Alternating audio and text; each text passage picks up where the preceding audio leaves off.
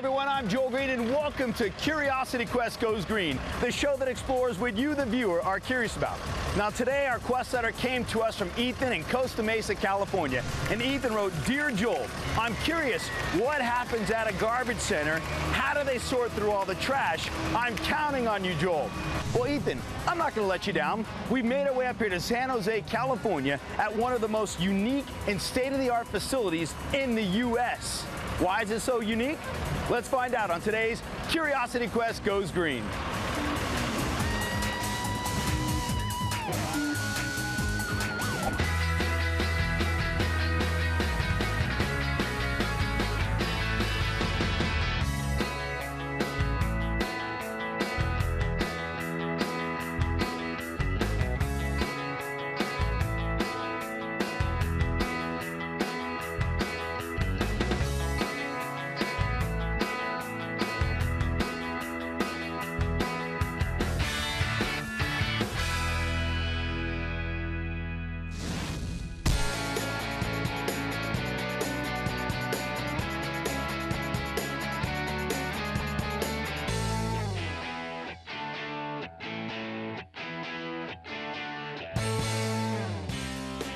What is a MRF?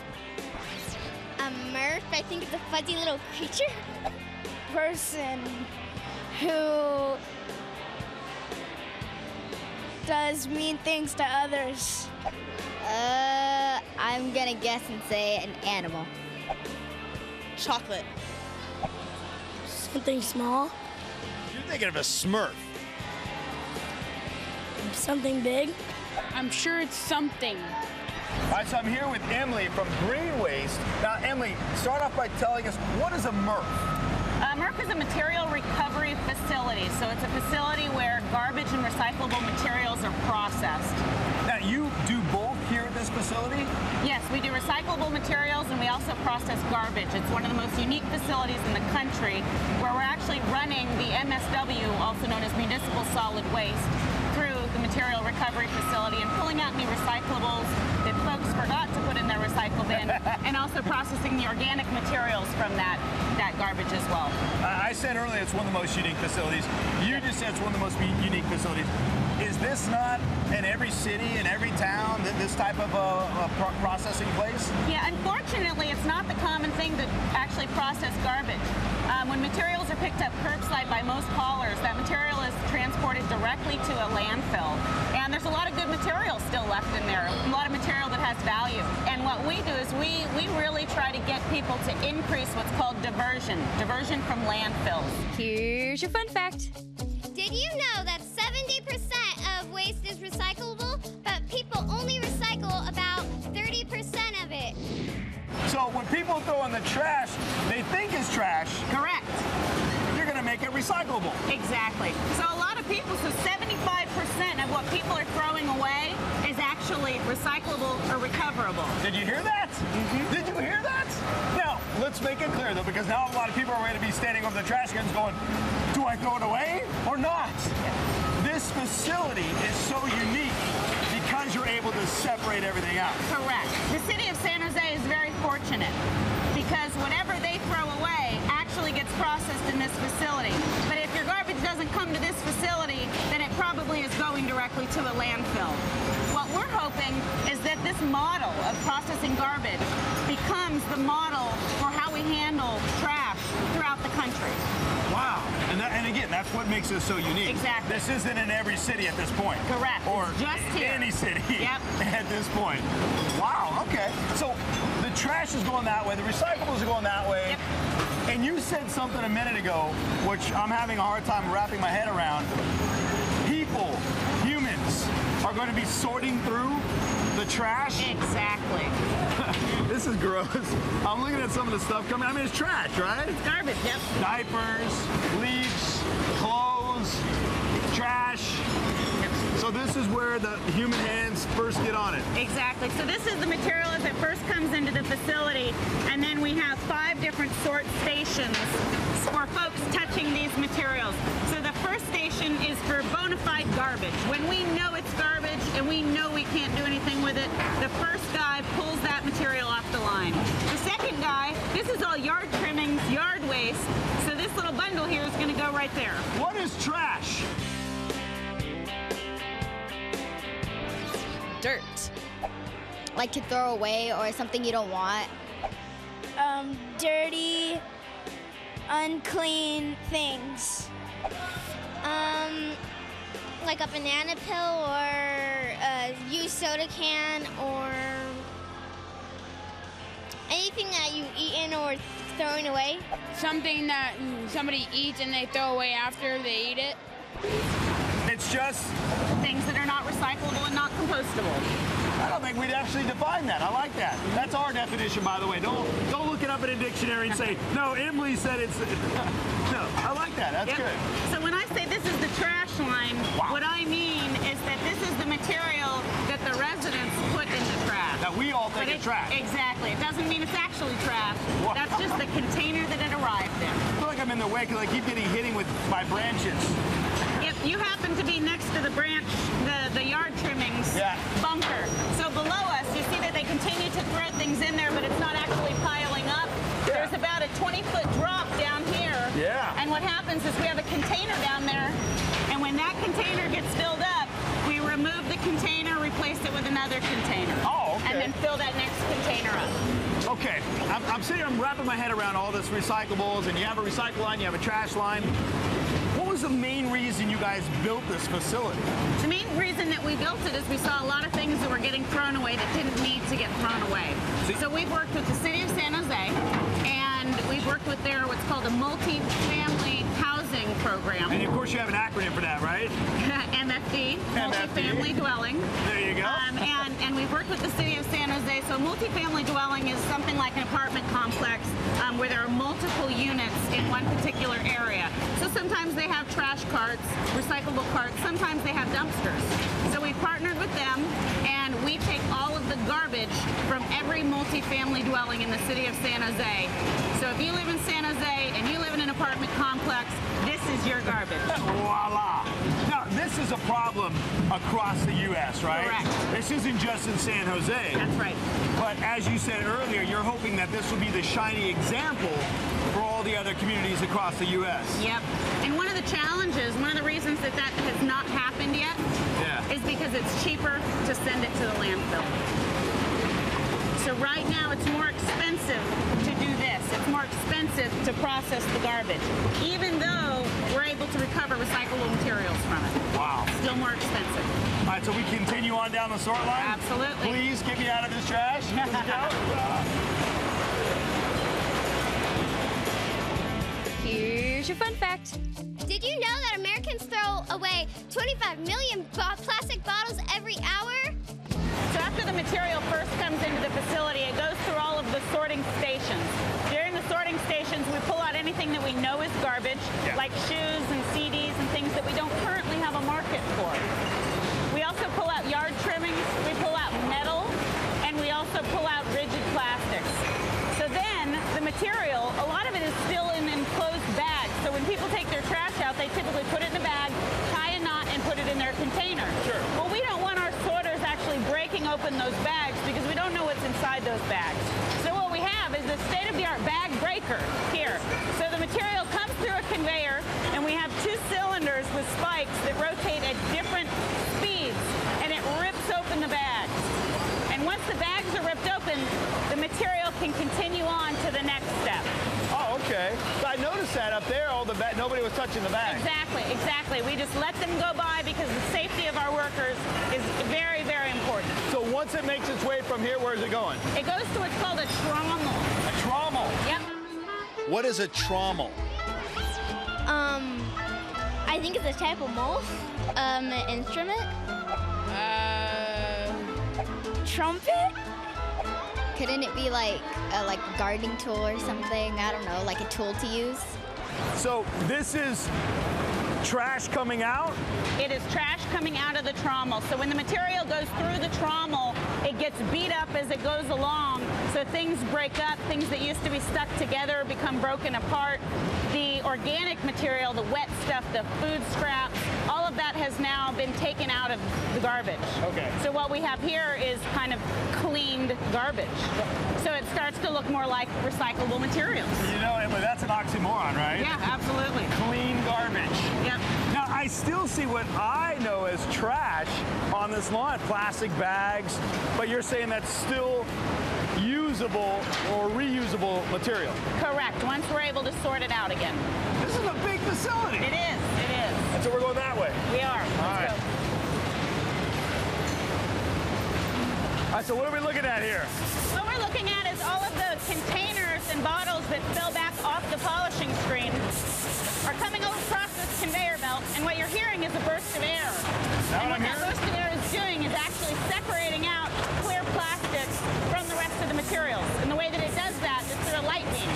So as the material comes over the conveyor, a light beam through, and if the light goes all the way through, then we shoot a burst of air down that pushes that clear container down into a separate area so that we can have clear plastic containers separated from the rest of the container. Wow. Now, when you say clear, you mean transparent, like exactly. right there. Okay. Exactly.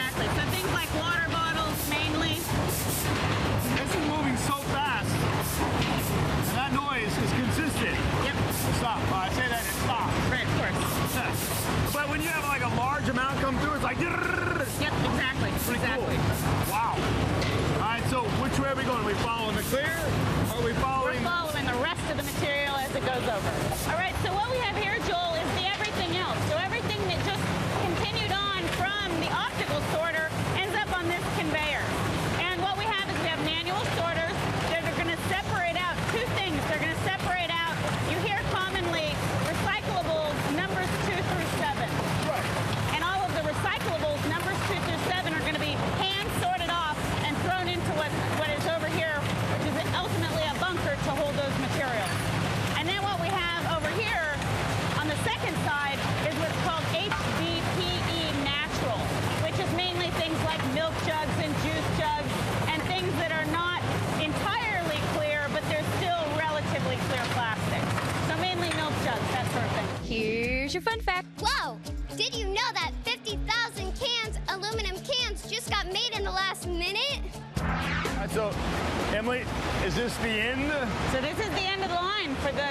line. And what this is, is this is all the lightweight stuff that traveled over the polishing screen.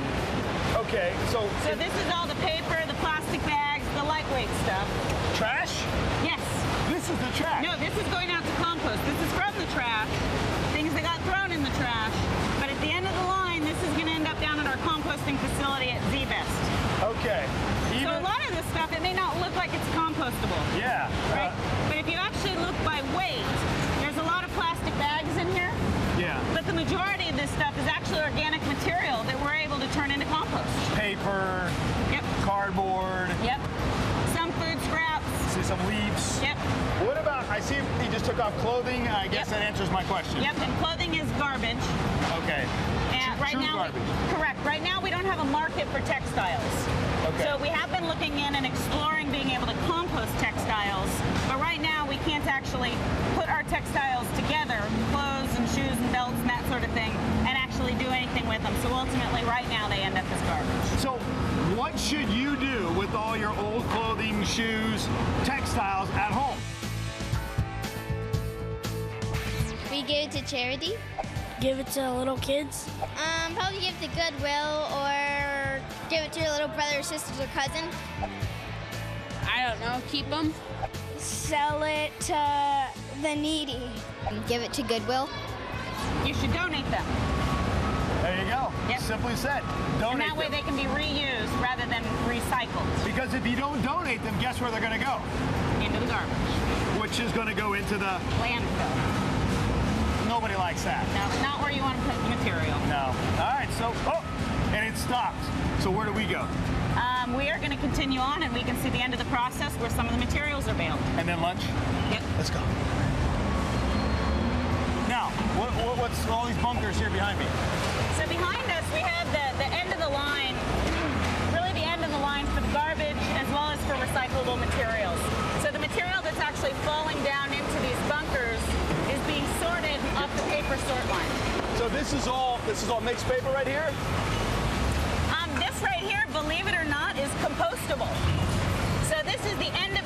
The garbage line. It certainly doesn't look compostable. no. It looks like it's a lot of plastics. All right. And we'll see when we go down to Z-Best, we'll see that actually most of this is compostable, especially by weight.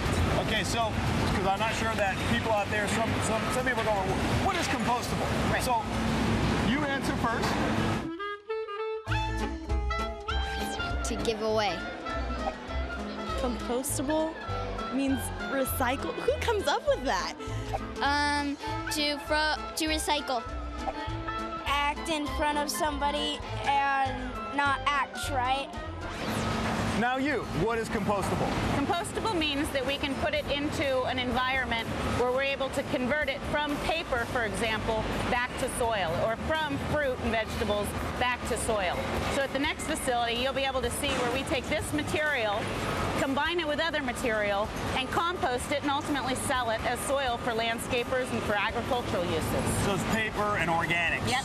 Okay. Yep. So right. really the only thing that's a waste product in here is the plastic bags. Yeah. Yeah. It's dirty in here. It is. All right, now what about over here? What's in this big bin that I can't see? Cardboard. Oh, okay. So what you have behind you as well is you have cardboard that's coming in and then it gets put onto a walking floor before it gets baled. hey, the cardboard's coming at me. Yep, the cardboard's coming out quickly. Oh, look at that. I was walking towards it, and it was coming towards me. Right. Am I So if you look down, there's actually a, uh, what's called a walking floor on the bottom Oh, yeah. here. So the material is, is coming out and then it's going to be carried off to our right. Yep. And then we have more quality control people Oh, my who are going to pull out anything that's not cardboard. All right, so that's obviously where all the wood and the yard trimmings go. Yep. Cardboard. What's in here? Um, that's rigid plastics. So things like broken toys, for example. Whoa, whoa, okay, wait, wait. Where, what happens to all the broken toys out there? Throw them away. Um, you can either fix them or give them to Goodwill or throw them in the trash. They get thrown away because they don't work. Well, hopefully the broken toys either get reused and fixed or recycled. And if they get recycled, they would come to this facility and be combined with things like plastic swimming pools or um, five-gallon buckets and kids' toys, and they all get put together. They're called rigid plastics. They would get baled, and we sell those bales of plastics. They're then recycled, and believe it or not, turned back into kids' toys and sent back for our use. All right, so Emily, what is this? The one right behind you, Joel, is garbage. This is legitimate garbage. Oh, come on. You keep telling me it's trash, not trash. It's real trash. Yep, this is the very small portion of materials that come into our facility that are actual trash, and these are the only materials that get sent out to the landfill. But let's, this is all going to landfill. Correct. But let's put this in perspective here. About how many tons have you guys processed already today? 120 tons. 120. That is, that's like a lot of trucks. It is, it is. Truck after truck after truck. Mm-hmm. And this will all fit in one truck, right? Maybe two trucks. Probably one truck. So a lot of trucks have come in here today. Mm-hmm. A lot. This garbage isn't even ready to leave the facility yet. We don't have enough to take it out of our facility yet.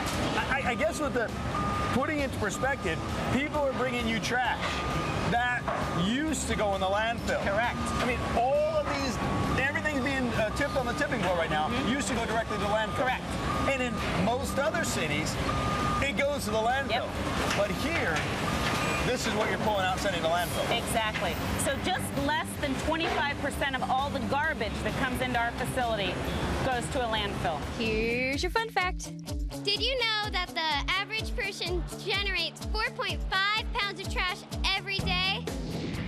Right, we are high above the city of San Jose, and I'm here with Michelle from the city of San Jose. Now, Michelle, one of the things that I'm really curious about is how do you balance teaching and enforcing the community about recycling, and yet you have this state-of-the-art facility that you know really does the recycling for them?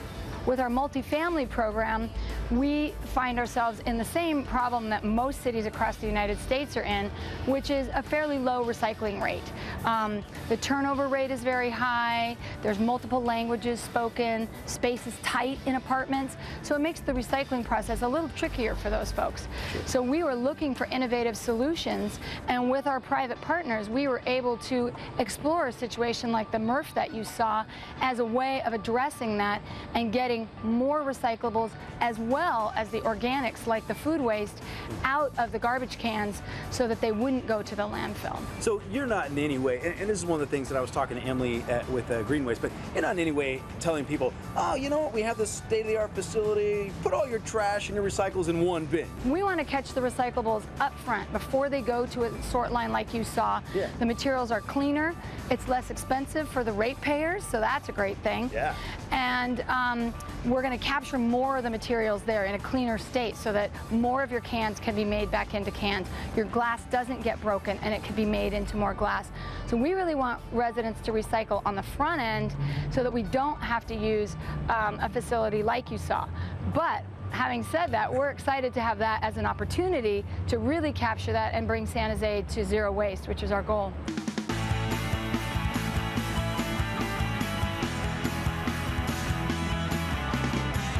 Right, so I'm here with Greg from Z-Best. So we processed all the trash and we pulled out some organics for you. What are you going to do with all these organics? Well, that truck's going to come in, go across our scales. Since we already saw the material being processed, it's ready to go as soon as it hits Z-Best. We're going to send that truck directly out to the bagging machine, where it's uh, the red machine you see there is going to put it into a 300 foot long bag and lay aeration pipes down in the bottom as it goes. Now, now, why would you put it in the bag? What, what does the bag do to, to the material? Well, the bag serves a couple of purposes. Uh, because there's food scraps and, and things like that in the material, uh, we want to keep the flies and birds away from it, and we also want to contain any liquids that might drain out of the out of the material and, and keep it from from releasing onto the ground. Uh, first of all, how long will you keep it in the bags? That's going to stay in the bags for 14 weeks, Wow. and that lets the microbes do their job. And after 14 weeks, we're going to open up the bag and take it to our screening process, and then we're going to screen out the finished product. It'll go back into the soil. So when it goes into the bag, that's almost four months. When it goes into the bag, it looks like the stuff we pulled out of the line earlier today. it looks like food and grass clippings and whatnot. When it comes out of the bag, it doesn't quite look like that. It doesn't look like that, but you will see some things that you saw before. All the plastic and things that don't degrade are still going to be right there in the pile. But mixed around them, you're going to see the dark material, and that's all the organics that decomposed. And those organics are our compost, so we can screen the plastic and the non-organic fraction right out, and then we're left with the compost, the dark stuff, the good rich soil amendment, which will go back into the ground. So not only nitrogen and carbon and words you're used to hearing, but there's potassium and, and you know dozens of minerals and elements in here, as well as an, an active microbe community. All these things benefit the soil. All right, so you're talking nitrates and potassium and all those other elements here. What you're trying to say is that this is really good stuff for the environment, right? Right, we need to get this stuff back in the soil. Okay, so that, that's great. We, we took all of the trash that the community brought in here uh, around the San Jose area. Correct. We processed it, pulled out all the organics, food, and, and everything else, uh, and paper. And now you guys turn this into usable, healthy, environmentally friendly soil. That's correct. And all we need is for the public out there to take this material, put it back in their gardens and their landscaping. You hear that? All right, well, cool. Here, I'll let you hold that. There you go. I want to thank Greg, I want to thank Emily, and I want to thank everyone out here for showing us how this full circle process of trash to this amazing pile of organic compost. And I especially want to thank you, Ethan, for sending us on today's Curiosity Quest Goes Green. Now, if there's something that you're wondering about, please let me hear from you. Go to curiosityquest.org, click on the Send Us on a Quest link, and simply tell me what you're curious about. And who knows, it could be you that sends us on our next green adventure. Now remember, this is our planet, and it's our responsibility to take care of it. So I'm curious, have you gone green? I'm Joel Greene, and I'll see you next time. Ethan in Costa Mesa, California. And Ethan wrote, Dear Joel, I'm curious. What happens at a garbage center? What we're at one of the most unique trash facilities in the Oh, you didn't say action! All right, so we are high above the city of San Jose, and I'm here with Michelle from the city of San Jose. Now, Michelle, been hanging out with me, it's a bad thing. If you'd like to order a copy of this episode or a previous episode, visit us at www.curiosityquest.org. The cost is $19.95.